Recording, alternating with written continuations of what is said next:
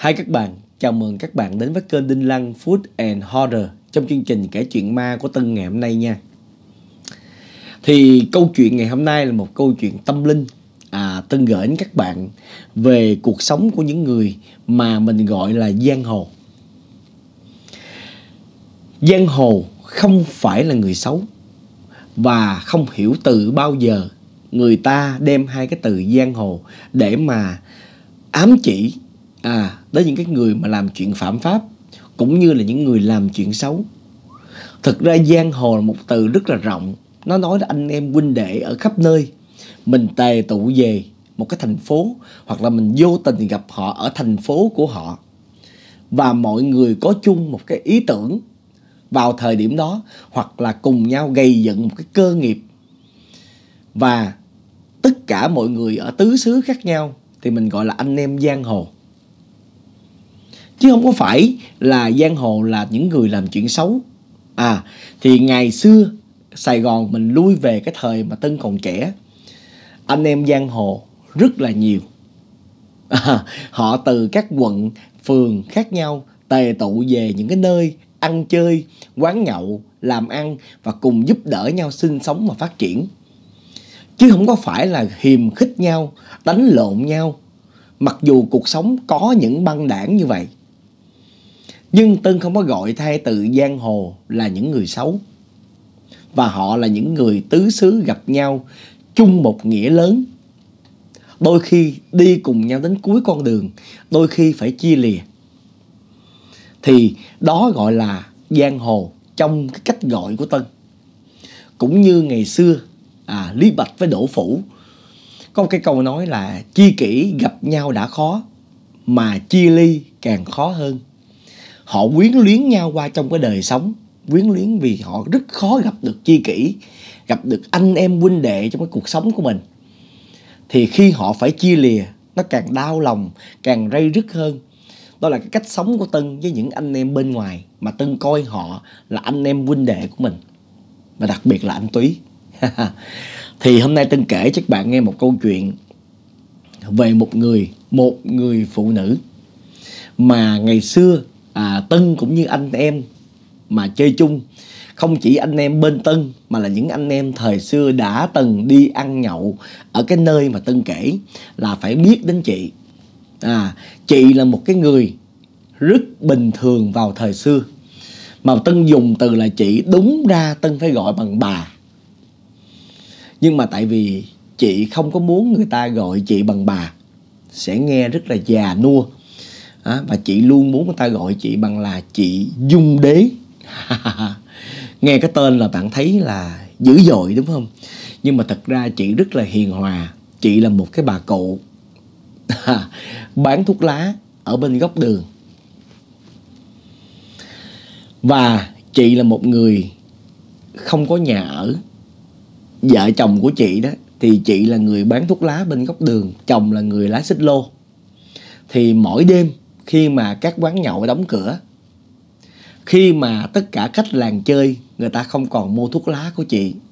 Khi mà sài gòn bắt đầu chìm vào màn đêm mà tất cả mọi người đều đi ngủ, thì chồng chị về và dựng cái xích lô ở bên đường và bắt đầu che mùng. Thì chị leo lên xích lô, chị ngủ. Còn chồng chị thì trải một cái tấm bố giải bố đó, để mà nằm ngủ cái hình ảnh của chị dung đế thời xưa làm như tân không quên được. Tại vì nó kéo theo rất là nhiều kỷ niệm của tân với anh em huynh đệ, bạn bè thời xưa. Tân là một người mê nhậu. Tân rất là mê nhậu. Nhưng mà sau này á, là tân bỏ nhậu. Vì mình còn những cái khát khao, khát vọng lớn hơn. Mình phải giữ sức khỏe, tinh thần để mình kể chuyện và mình làm những cái chuyện mà sau này hoài bảo mình muốn làm thì mình bỏ ăn nhậu ăn chơi. Nhưng mà hồi trẻ thì mình rất là chơi bời. Thì bạn thấy rồi lớp 10 đã gia chạm quá nhiều chuyện rồi thấy không? Thì lúc đó tân còn nhỏ lắm. À cũng trong độ thời gian ăn chơi tuổi thanh thiếu niên thôi. Thì tân hay ra cái góc đường à, để mà tân uống à, bia hơi. Tại bị gì hồi đó mình nghèo. À, bia hơi là cái thứ bia mà nó rẻ tiền nhất. Tính ra thời xưa là 5 ngàn một lít thì mình cứ vậy mà mình nhậu. Mồi màng thời đó cũng đơn giản không có gì phức tạp. Đậu phộng. Tứ nào sang thì cứ đậu hũ chấm mắm tôm chấm nước mắm. Sang hơn nữa thì là rau muống xào. Bởi vì hồi xưa có cái câu là à, ốc khỉ chấm chao. Rồi á à, ngà voi chấm ốc khỉ. Ngà voi chấm ốc khỉ. Mình xin lỗi lâu quá rồi không nhậu mình quên. Còn đậu hũ gọi là thịt tam tạng. Đó, là những anh em nào thời đó là phải nhớ. Là phải nhớ. Tại mình ăn nhậu mình uống bia hơi không à. Chứ còn mà để uống ba ba, Tiger, Heineken, thôi đừng mơ tới. Bây giờ thì cái đó nó rẻ. Chứ hồi xưa nó mắc dữ dằn lắm. Đó. Thì chị Dung Đế là cái người ngồi kế quán nhậu đó bán thuốc lá cho người ta hút. Mà chị rất là vui tính. Cực kỳ vui tính mà cực kỳ khoái nhậu. Bởi vì sao gọi là Dung Đế? Vì chị đó chỉ uống rượu đế mà rượu cốt thì bà mới xỉn. Chứ còn mà ba cái bia hơi bình thường, ha tụi tân còn trẻ tụi tân xỉn, bà chưa xỉn. Nó thẳng là vậy luôn, là bà chưa có xỉn. Mà sức khỏe bà giống như là trời cho các bạn. Cực kỳ khỏe mà bà bà nói câu nào ra là nó duyên dùng câu đó. Mà người ta thích ghê gớm lắm. Mà nói ví dụ nha. Bà ngồi ở đó mà bà địa bà địa hết mấy cái bàn nhậu. Để bà coi coi bàn nhậu nào thân thiện đó. À, bà bà địa làm như có cái duyên. Mà chỗ đó nói thẳng ra bàn nào cũng quen hết trơn á. Và cái tiệm nhậu đó là nó có nó có rất nhiều món ăn. À, và nó trải qua nhiều thời kỳ ăn nhậu. À, gọi là cái trend bây giờ ta gọi là trend đó. ngày xưa có nhiều lắm. Thì bà ngồi bà nhìn bàn nào bà nhắm bàn nào làm như cái duyên nó tới là bàn nó để ý. Để ý là người ta chọc bà trước ta kêu sao? Ta chị dung khỏe không? Khỏe gì dung dám thách đấu với tôi không? Tôi chỉ uống 3 lít bia hơi nè coi cái nào xỉn. Là bà quay qua bà nói chuyện mắc cười lắm. Bà kêu trời ơi tôi lớn tuổi rồi chú ơi tôi uống gì nữa? Mà thôi uống 5 lít đi 3 lít không đủ đâu. Là người ta bắt đầu người ta cười rồi. Cái kiểu giống như là bà nói chuyện sốc á, giỡn. Thì thời điểm đó à, tụi tân rất thích chị dung đế lúc nào ra nhậu bàn nào cũng chọc bàn nào cũng mua cho bà uống hết. Và bà có những cái món mà gọi là chỉ có dân Sài Gòn thời xưa mới biết thôi. Bà chỉ cho người ta luôn. Thì tân nói ra đây chắc những ai mà lớn tuổi biết mà mấy bữa trước á, cũng nhờ cái anh mà tài xế đi chung thì mình cũng mới nhớ lại cái loại rượu đó mà hồi xưa chị dung đế chỉ có suối uống. Đó là rum hiệp hòa những ai mà mà dân ăn nhậu mà hồi xưa mà gọi là lê la lề đường á, là phải biết rum hiệp hòa. Từ nghệ sĩ thời đó cho đến bất cứ người lao động nào cũng uống hết. Mà uống cái đó rồi á, là một ngày không làm việc luôn. Nếu mà chơi sát dán nha, chơi mỗi người một chai nha, là một hai ngày không làm việc luôn. Không có cách nào bạn tỉnh được mà hồi đó cái râm hiệp hòa là ở đâu cũng có. Thì chị dung đế đó mới là cái người suối anh em uống rum hiệp hòa. Bà hỏi giờ tao có chỗ bán nè, tụi bay uống tao mua. Chứ cái tiệm bia hơi này nó không có đâu. Ha, mà tao nói chủ rồi, chủ cho mang rượu vô uống. Bây giờ pha với bia hơi uống, còn không phá soda, đứa nào muốn chơi. Đó là anh em uống là không ai vượt qua bả hết. Tại cái rum nó rất là nặng làm như nó không phải là rượu bình thường nó có cồn nhiều hay sao đó. Mà uống vô là bạn gục, uống là bạn gục. Đó là cái thời mà tân kể về cái cuộc sống của của chị dung đế đó. Nhưng mà khi màn đêm buông xuống, khi màn đêm buông xuống, thì chị dung chỉ về đúng cuộc sống của chị. À chị rất là thương chồng, chăm lo cho chồng. Dù nhậu cỡ nào nhậu làm gì làm, nhậu cho quên đời, nhậu cho quên cái buồn thì nhiều khi trên bàn còn ít đồ ăn dư thì chị cũng xin. Lúc đầu chị giỡn kêu mày tao giỡn đồ dữ lắm. Nhưng mà khi bạn bè xỉn hết rồi trên bàn ta ăn còn dư chỉ vô chỉ xin đàng hoàng. Cái nó mấy mấy đứa à, mấy đứa ăn không hết bỏ mang tội. Mấy đứa cho chị à, gói về đặng à, tối chồng chị đi về làm cực đó. Chị dọn cho chồng chị ăn giang hồ là vậy đó. Giang hồ là vậy đó. Nhậu nhẹt nhưng chí tình chí nghĩa. Chơi với huynh đệ, chơi vui. Nhưng cái gì muốn giữ lại là xin đàng hoàng. Nhưng xin không phải xin cho mình, xin cho người thân của mình, cho chồng mình. Để chị giữ lại cho chồng chị. Tối về làm cực, chồng chị ăn. Cái tình cảm đó, bạn biết là nó làm cho tân suy nghĩ nhiều lắm. Bởi sau này mình sống, anh em thương mình. Tại vì thời xưa nó khác bây giờ. Không có giống như bây giờ. Bây giờ không còn những cái con người mà giống như vậy nữa. Hoặc là họ thay đổi hay họ đi đâu hết rồi. Thì bạn biết đó là cái ngày hôm đó không bao giờ mà tân cũng như những anh em ở cái chỗ nhậu đó mà người ta quên. Thì ngày đó nó không giống những ngày khác anh em cũng về đó tề tụ, kêu mồi màng ra nhậu. Thì chính tụi tân chứng kiến là lúc đó bàn tụi tân không có mời chị dung đế, nhưng mà cái bàn kế bên ta mời. Mà cái bàn đó người ta mời mà bàn tụi tân không mời là vì sao? Thứ nhất tụi tân biết chỉ lớn tuổi rồi. Nếu như mà mỗi bàn mà mời chỉ kiểu đó là chỉ chết, chịu không nổi cho nên á đã có một bàn mời những bàn còn lại là hùa nhau chọc cho vui thôi chứ không ép chỉ uống. Thì cái bàn đó người ta giàu người ta vô người ta ngoài uống bia ra người ta kêu rất nhiều những món ngon. Thì bên cạnh nó có bò đớp ta gọi là bò chùm mền đó Đúng không? Người sài gòn mình phải biết đó, bò chùm mền. Thì người ta ăn người ta kêu một phần cho chị đặng bỏ vô cái lòng bàn nhỏ nhét vô trong cái tủ uh, thuốc của chị đó. Thì chị qua chị cảm ơn. Chị uống nhưng mà ngày đó chị uống đúng một ly. Mà chị uống mà chị nói làm như có điềm chị nói uh, bữa nay làm như yếu quá không biết có chết không? Lỡ có chết tụi bay đừng quên tao. Chị nói vậy đó các bạn. Thì uh, mọi người mới thấy chị mệt thì mọi người cũng uh, không có chọc chị nữa. Kêu vậy thôi uh, mệt thì về nghỉ đi chị. Đừng có uống không có tốt nói chung người ta muốn vui người ta đãi chị nhưng mà người ta biết chị mệt là người ta không có ép. Thì chị về quá chị mới lấy điếu thuốc ra chị ngồi chị hút. Thì chị hút thì ai cũng nhìn thấy hết. Ai cũng nhìn thấy hết thì mọi người nhậu đó là là, là từ bắt đầu từ chiều tầm 1 2 giờ là ta nhậu đến đến sáng luôn. Ngồi chơi lây nhay hết nhóm này đến nhóm khác.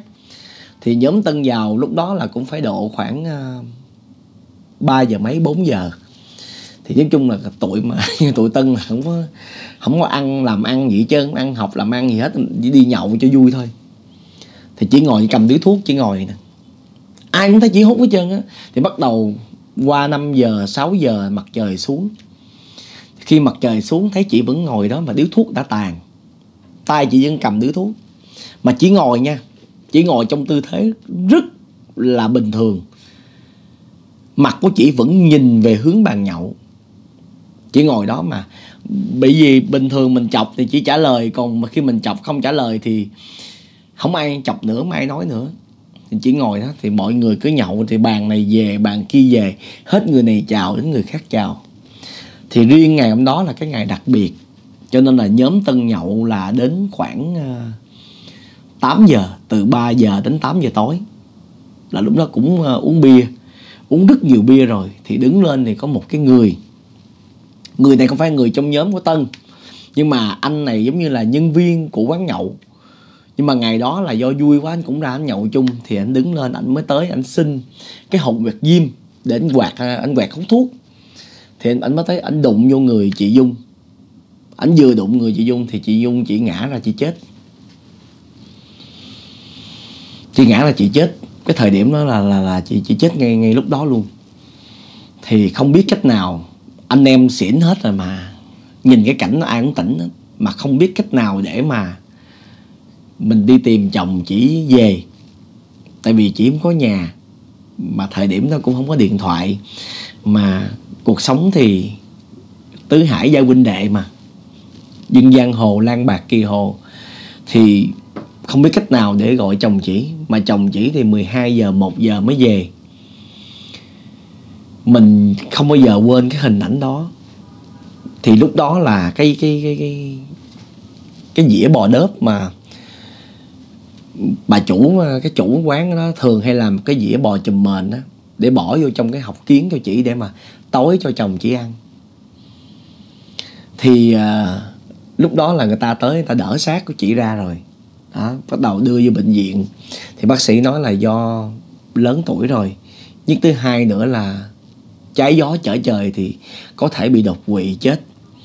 Thì bây giờ là người thân ký giấy đưa về đi. Thì lúc đó anh em mới chạy từ bệnh viện chạy qua chạy lại để lo cho chị. Đó, thì lúc mà chạy về thì bà chủ cái chủ quán bia mới ra ta lấy đồ ăn này kia ta dọn ra. Tủ thuốc ta lau sạch lại hết để mà thật ra người ta không biết phải làm sao hết tại vì chị dung chị không có nhà. Chị chỉ biết là dọn cái góc đường cho sạch dọn cái góc đường cho sạch để mà đưa xác chị về. Chứ bây giờ cũng không có biết cách nào để mà mà mà mà an táng cho chị đây. Tại vì thực sự ra mà bây giờ mình nói là phải có người thân, mà người thân thì cũng chồng chị đang đi mưu sinh. Mà chị thì đột ngột chị ra đi vậy. Đó. Thì lúc đó là mới đưa đưa xác chị về ngay chỗ đó luôn. Thì chính quyền người ta cũng cho phép chứ không không có gì hết. Về thì quán đóng cửa ngày hôm đó thì cái người chủ quán cho phép lấy cái mặt tiền ngoài làm nơi để hòm làm nơi để hòm mà đám ma cho chị dung đế.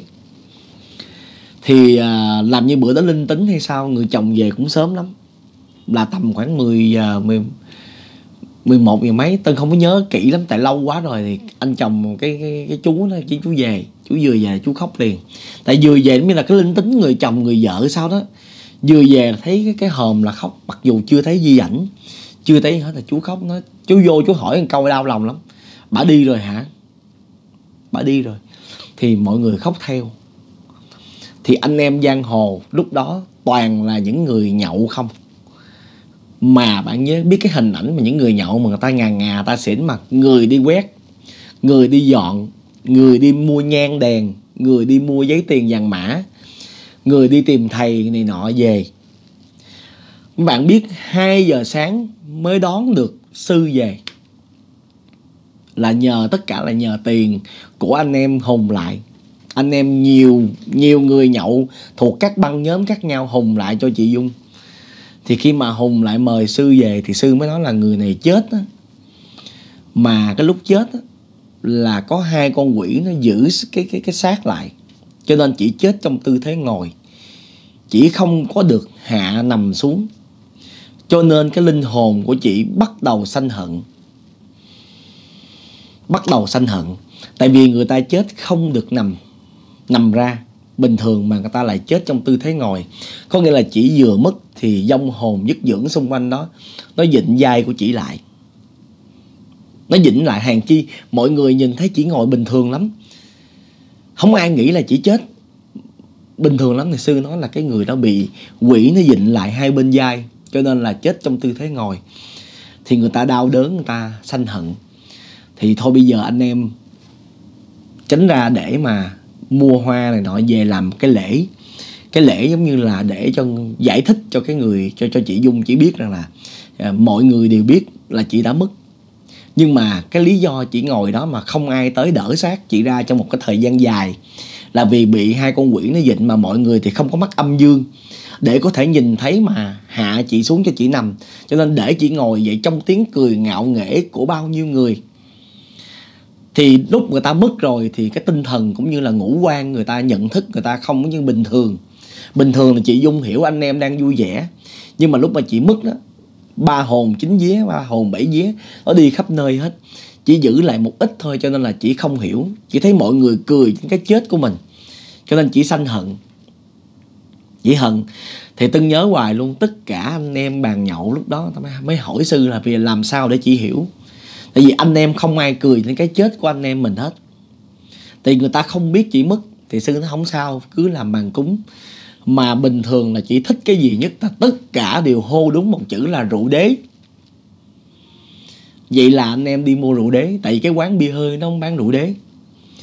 Mà anh em sách không biết bao nhiêu can rượu đế, tất cả quỳ lại, thắp nhang, mà đổ can can rượu đó xuống. Tràn hết cả một cái lề đường mà nó bốc mùi rượu không. Và tất cả các anh em đều vô lại.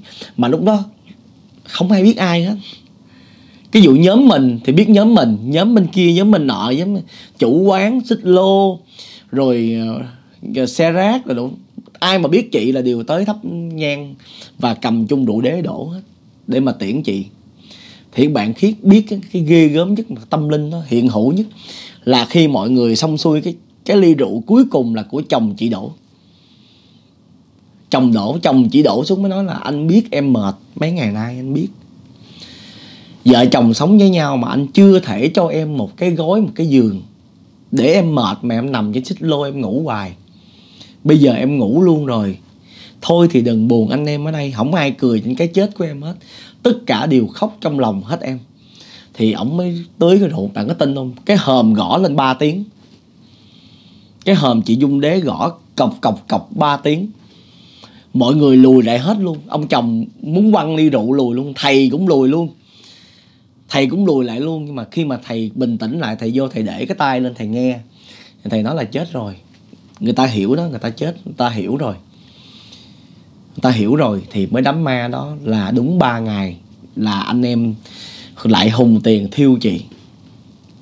Tại đâu có đức đâu mà chôn. Thiêu thì nghe nói là cái người chủ quán bia đó, có quen chùa là mới đưa chị lên chùa luôn đưa chị lên chùa luôn. Mà đêm hôm đó không ai quên được những cái hình ảnh mà nó ghê rợn như vậy. Thứ nhất là chết ngồi. Thứ hai là có hai linh hồn dông hồn ngoài đường đó. Người ta dịnh cái xác lại để cho người ta tạo cái hận thù trong lòng cái người chết. Bạn thấy ghê. Bởi vì những người mà mất lan bạc kỳ hồ ngoài đường người ta hận ghê lắm. Tại người ta hận không phải là vì người ta xấu mà vì những con quỷ khác á, nó hại. Nó làm cho cái linh hồn nó hận để hận giống nó nhưng mà do tình cảm anh em huynh đệ thật sự, mặc dù mọi người không ai biết ai, nhưng vì chị dung là cái người mà mình nhìn thấy mỗi ngày khi mình nhậu, mà cùng tề tụ mua rượu về nhậu cái chị đêm cuối cùng. Để mà tiễn chị đi, thì chị hiểu và chị gõ vô trong cái hòm ba cái chỉ tự gõ cái xác đó. Nghe cọc cọc cọc rồi chị mới đi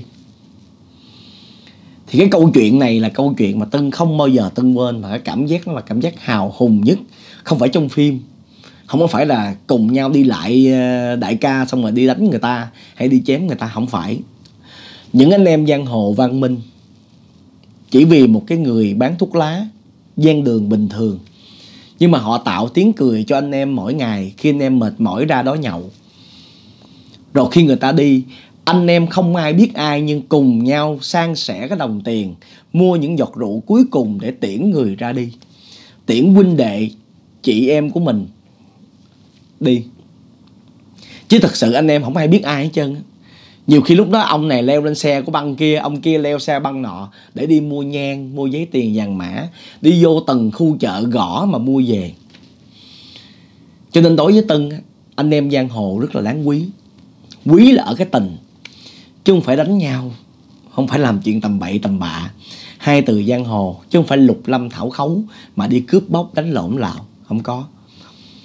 Chỉ là những thú vui thời đó, những cái câu chuyện trải qua, tâm linh là có thật.